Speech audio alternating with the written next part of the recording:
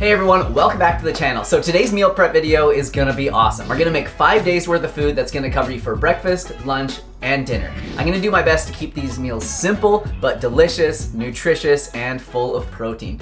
So these are gonna give you about 2,000 calories per day and 120 grams of protein. So if you're interested in the full macros of each meal and the nutrient breakdown, stick around to the end where I go over that in Cronometer. But we've got lots to cook today, so let's get started with breakfast, which is a baked tofu and veggie scramble with seasoned potatoes and salsa. So first you wanna start by crumbling four blocks of extra firm tofu into a large mixing bowl. Next we're gonna add some seasoning. So start with two tablespoons of garlic powder, three tablespoons of onion powder, so we want this thing to be flavorful. I know it seems like a lot of seasoning, but remember, this is for five meals two teaspoons of turmeric. So this is obviously gonna give it a nice like orangey yellow color, but turmeric's also great for helping to lower inflammation. So whenever you use turmeric though, you wanna use it with black pepper because this increases the absorption. So one teaspoon of black pepper and then three tablespoons of nutritional yeast. And then a teaspoon of salt. I'm actually gonna be using this herbed sea salt rather than just regular salt. Gonna give it some more flavor. And then just get in there with your hands and mix it up well. You wanna squish the flavors right into the tofu. All right, right, once that's all mixed up, put the bowl aside and we're gonna chop up some veggies to put in there. So start by chopping one red bell pepper and then fire that into the bowl. One green bell pepper, a half of an onion, two tomatoes, and then four or five mushrooms. Then you just wanna mix all that together. And then just spread that out onto a couple of baking trays. So put that into a preheated oven at about 400 degrees Fahrenheit, and you're gonna wanna cook that for about 40 to 45 minutes. After about 20 minutes, you probably wanna give the tofu scramble a quick mix, just so it cooks evenly. And then next, we're gonna take advantage of that oven being on and roast some potatoes.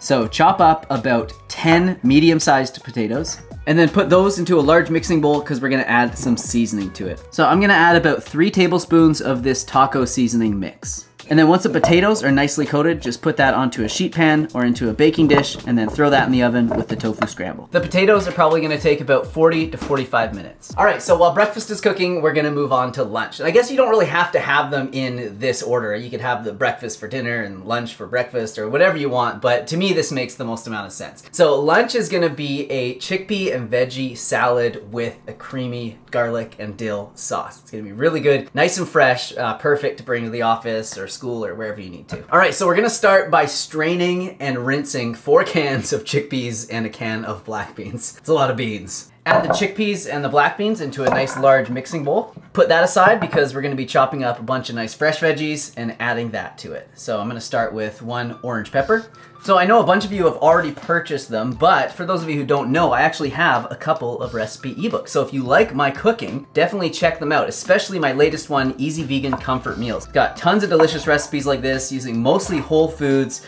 stuff that you can find easily in the grocery store, and uh, got a ton of sauces in there as well to make your food just taste amazing. So there's always a link in the description box down below if you want to check any of those out, and it's definitely a good way to support the channel and say thanks to me for you know doing what I do here on YouTube, and I really appreciate it. Two tomatoes. So you wanna try and chop this stuff pretty small because we're not cooking this. This is gonna be, you know, its final form. This is how you're gonna be eating it. So you don't want like massive chunks of veggies in there. About a quarter of a red onion. About a half a cup or so of chopped purple cabbage. About seven black olives. Olives pack so much flavor into them, so that's why it's kind of nice to add to a fresher dish like this. And I love the taste of fresh herbs, so I'm gonna add about a cup of chopped cilantro and a cup of chopped parsley. And then just to bump the protein up a little bit more and add some healthy omega-3 fats, I'm gonna add five tablespoons of hemp seeds. Give that a good mix. So now that that's all mixed up, put that aside because we are gonna make a delicious creamy tahini sauce. A quarter of a cup of water, a quarter of a cup plus one tablespoon of tahini, one tablespoon of grainy or Dijon mustard, two teaspoons of onion powder, two teaspoons of garlic powder, one tablespoon of dried or fresh dill, two teaspoons of maple syrup, the juice from a full lemon, half a teaspoon of salt, and a pinch or two of black pepper. Then just put a lid on it and shake it up. And then the nice thing about making sauces is you can always make adjustments to it after if you need to. So this looks like a perfect consistency, but it will thicken up throughout the week. So if you don't add it to the salad right now and you keep it in the fridge, then you might have to add a little bit more water as you go. But uh, let's see how it tastes. So it's a good idea to taste it before you commit to it. It's so good. Man, yeah, it's perfect. So for now, I'm gonna put this aside and check on the breakfast, the tofu scramble and the potatoes because I'm pretty sure that is done. Woo-wee! All right, so that turned out really nicely. All right, so I'm just gonna let these cool back here. Nice. And the potatoes are perfectly cooked as well. Next, I'm gonna cook up the brown rice and lentils for dinner. And because brown rice takes quite a bit longer than lentils do, I'm gonna cook the brown rice first. So this is gonna allow this to cook perfectly and not make mushy lentils. So behind me, I have nine cups of veggie broth boiling. And to that, I'm gonna add one and a half cups of brown rice. And then after about 20 minutes, I'm gonna add two and a half cups of French lentils. Not a lot of room for error there. and then once you add the lentils, you're gonna wanna cook it for another 30 minutes. So this is gonna be about 50 minutes in total.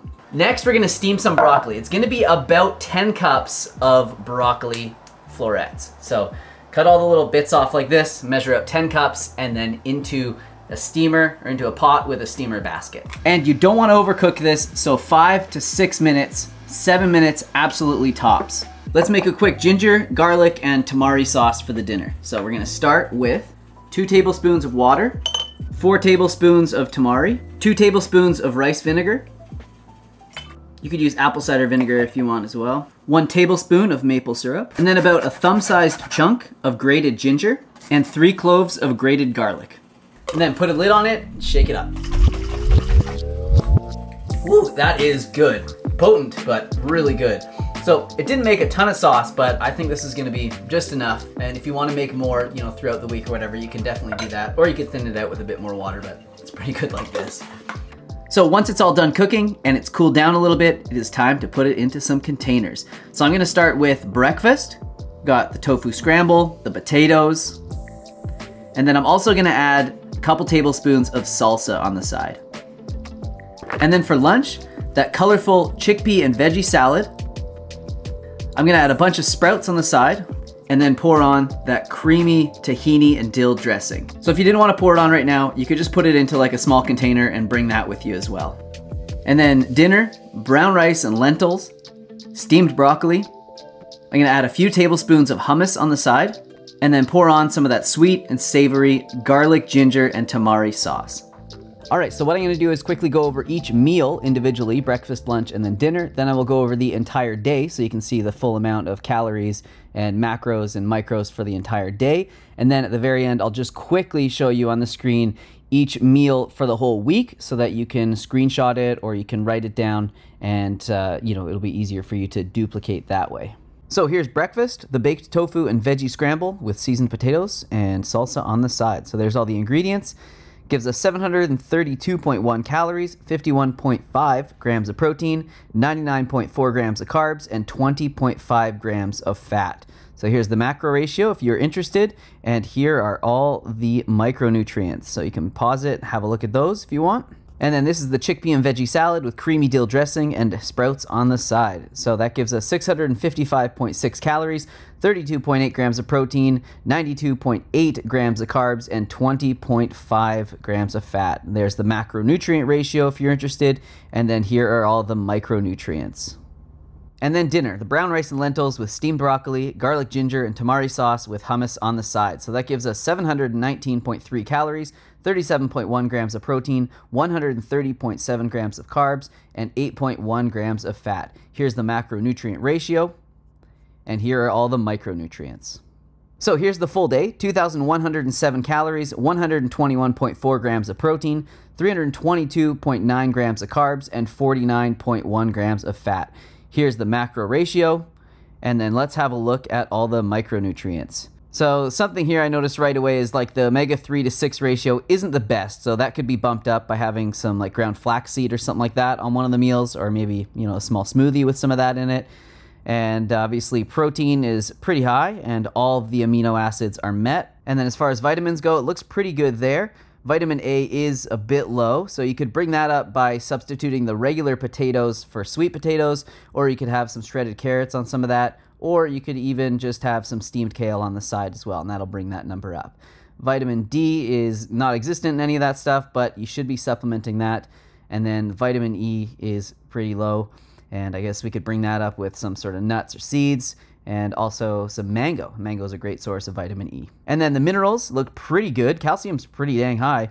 Uh, iodine's kind of low, but if you are using iodized salt, that's going to bring that number up. Iron's really good. Like, look how much iron is in that meal and the rest is looking pretty good. Sodium is a little bit high, I will admit. I was just trying to make these delicious, so I don't know if you need to cut that down. You know, it's pretty easy to do that with the salt or less tamari or whatever. And then zinc is pretty dang good as well. So I don't know about you, but I think this is a pretty good looking day. So these are the amounts for each meal. So for five servings, this is what you're gonna need to cook. And you might wanna screenshot this if you are gonna duplicate these. And you could probably also use this as a bit of a shopping list as well. So here's breakfast, lunch, and dinner.